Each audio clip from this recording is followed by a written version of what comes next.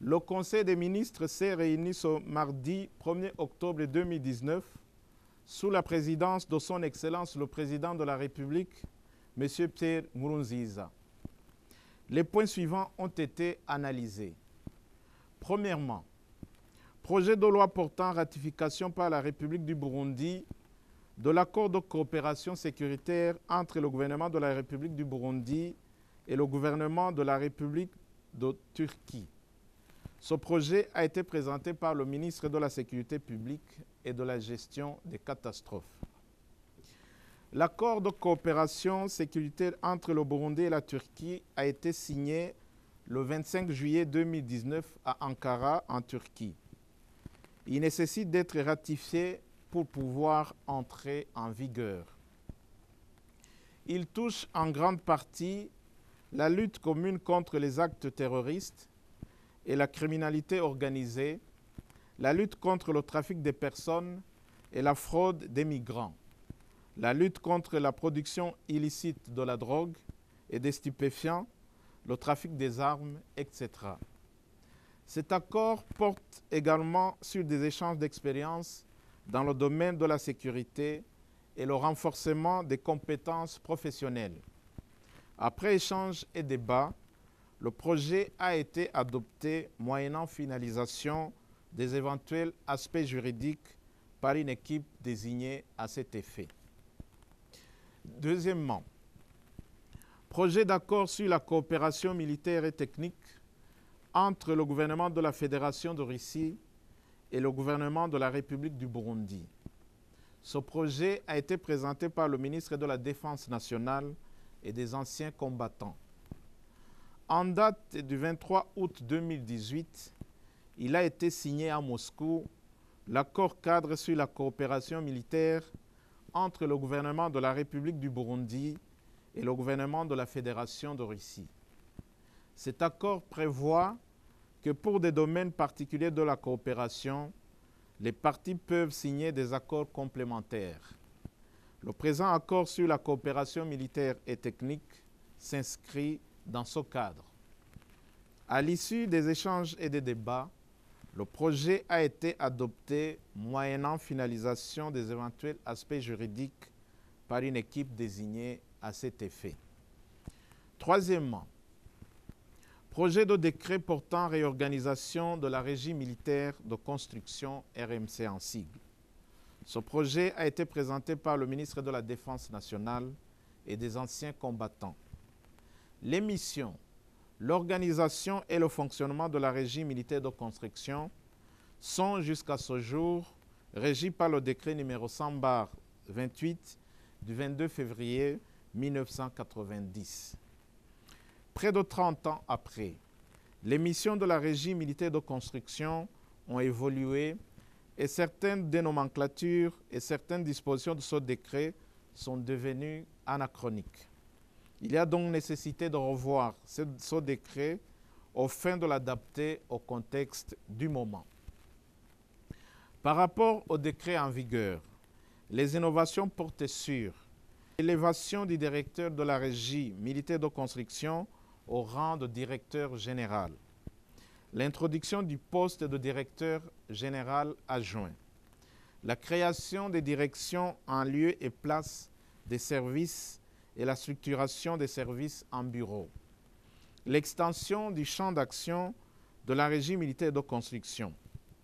Après analyse, le Conseil a constaté que la régie militaire de construction nécessitait d'être renforcée et ses missions étendues afin de la rendre compétitive par rapport aux autres grandes sociétés intervenant dans le secteur de la construction. Une équipe a été désignée pour travailler le projet suivant cette orientation et le projet sera ramené en Conseil des ministres dans un délai de deux semaines. Quatrièmement, projet de règlement d'ordre intérieur du Conseil d'administration de l'Aubois. Ce projet a été présenté par le ministre des Transports, des Travaux publics de l'équipement et de l'aménagement du territoire.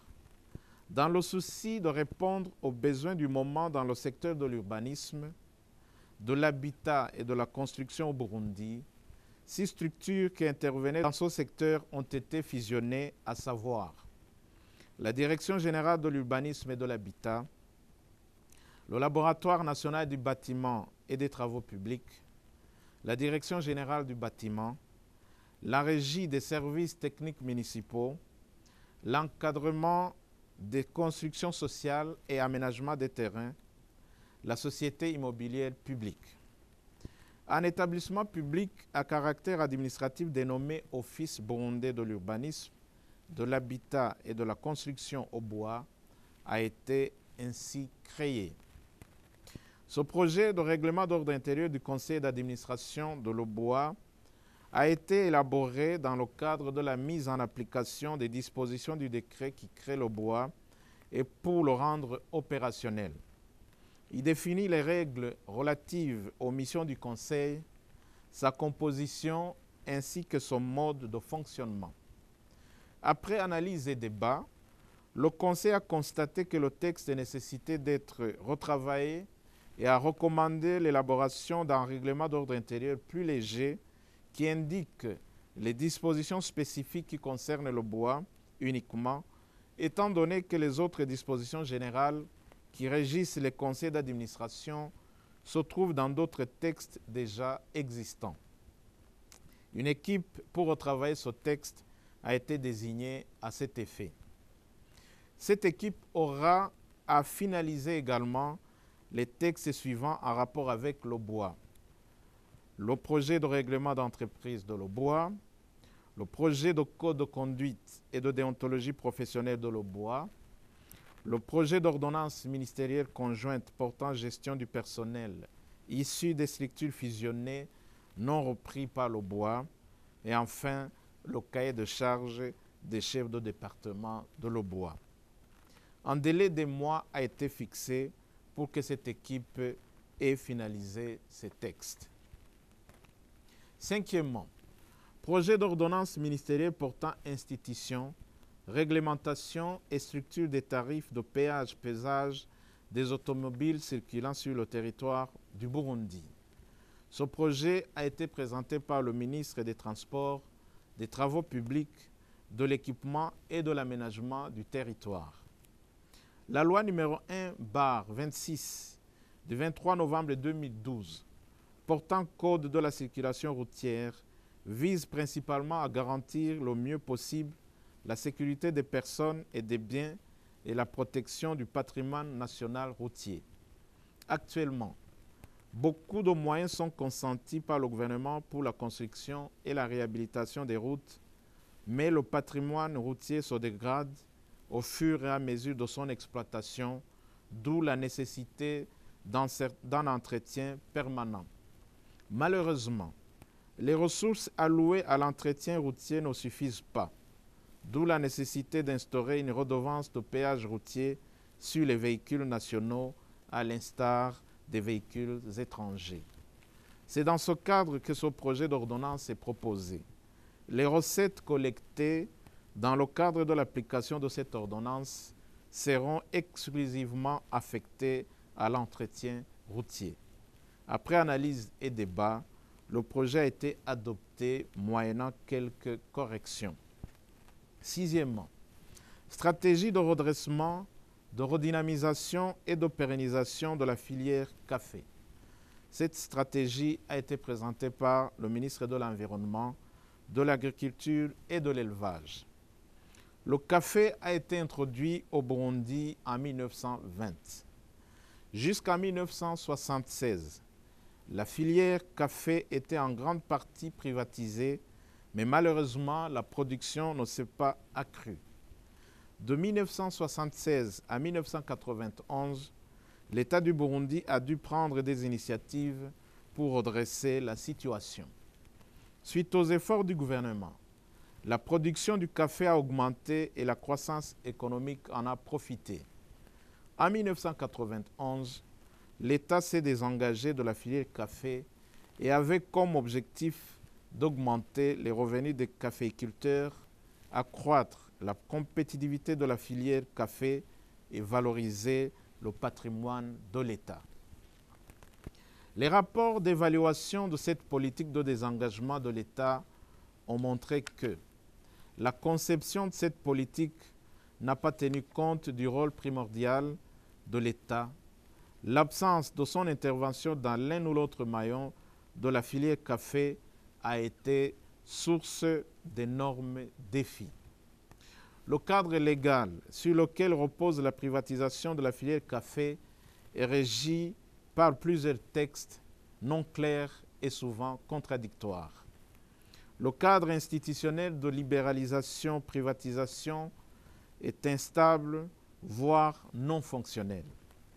Le dispositif institutionnel et la régulation ne travaillent pas selon les principes énoncés dans la politique de désengagement de l'État dans la filière café. Ainsi, les résultats de la politique de désengagement de l'État dans la filière café ont été décevants pour l'économie burundaise car la productivité et la qualité du café ont continué à diminuer. Face à cette situation, l'État se trouve dans l'obligation de se réengager dans la filière pour intervenir, coordonner et faire le suivi de tous les maillons de la filière café. Il est impératif de prendre des mesures juridiques et organisationnelles nécessaires afin d'assurer le développement durable de la filière café dans toutes ses composantes, à savoir sa production, sa transformation et sa commercialisation. C'est l'objet de cette stratégie présentée. Aussitôt la stratégie adoptée, il sera mis en place de nouveaux textes qui réengagent l'État dans cette filière. À l'issue du débat, le Conseil a hautement apprécié le travail qui a été fait et la stratégie a été adoptée. Il a désigné une équipe qui va élaborer un plan d'action de mise en œuvre de cette stratégie au regard des défis relevés. Ce plan d'action sera présenté en Conseil des ministres dans un délai des mois. Septièmement, projet d'ordonnance ministérielle conjointe portant modification de l'ordonnance conjointe numéro 550 540 2016 du 30 décembre 2016 portant modification des tarifs des droits et taxes appliqués au ministère de la Justice et de la Protection civique.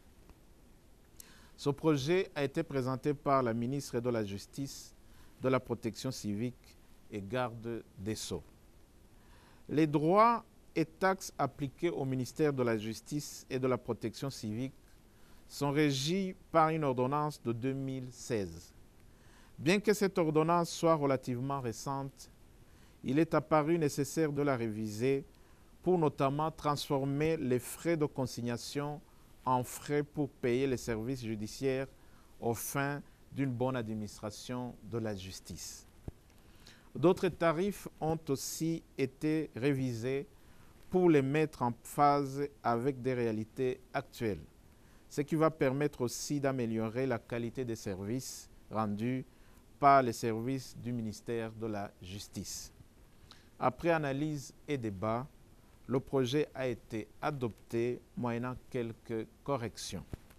Huitièmement, projet d'ordonnance ministérielle conjointe portant fixation des tarifs des droits et taxes appliqués par la direction des titres fonciers. Ce projet a été présenté lui aussi par la ministre de la Justice, de la Protection civique et garde des Sceaux. Les droits et taxes appliqués en matière d'enregistrement des propriétés foncières par la direction des titres fonciers sont régis par une ordonnance de 1999.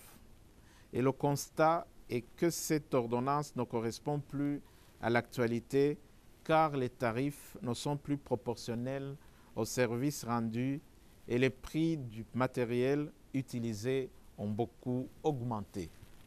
L'objet de ce projet est de modifier les tarifs actuellement appliqués pour les mettre en phase avec les réalités actuelles et faciliter l'enregistrement des terres par la population, tant en milieu rural qu'en milieu urbain. Ces frais vont notamment contribuer à l'informatisation de la direction des titres fonciers et ainsi améliorer les services que cette direction offre à la population. Après analyse et débat, le projet a été adopté moyennant quelques corrections. En divers, le ministre de l'Enseignement supérieur et de la Recherche scientifique a informé le Conseil qu'il va bientôt être ouvert un institut d'administration et de cartographie foncière au campus de Buhumuza en province de Chankuzo. Le ministre des Transports, des Travaux publics, de l'équipement et de l'aménagement du territoire a informé le Conseil que l'Organisation de l'aviation civile internationale a félicité le Burundi pour les progrès réalisés en matière de sécurité aérienne.